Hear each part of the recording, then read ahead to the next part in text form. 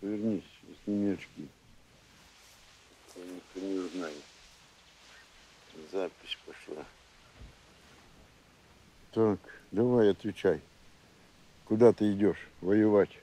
Да. Только вслух говори, чтобы слышно было. Вивай за рідненьку Україну, за рідні землі.